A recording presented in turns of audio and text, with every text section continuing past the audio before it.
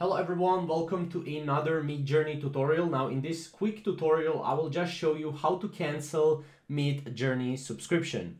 So as you can see here is, here are subscription plans, right? Basically, if you want to subscribe to a plan or if you want to cancel your subscription plan, you, all you have to do is go to the midjourney.com slash account.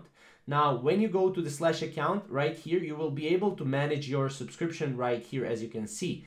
Now, as you can see, once you reach this, you will be able to manage your subscription.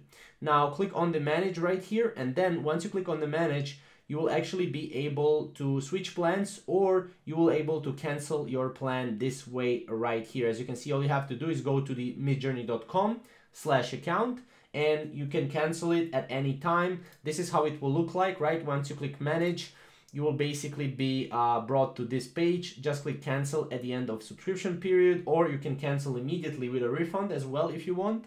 And then that's pretty much it. This is how it will look like after you cancel your subscription with Midjourney, right? Now, obviously, this is also how you can do it. You can just sign in and then go here and click manage sub, right?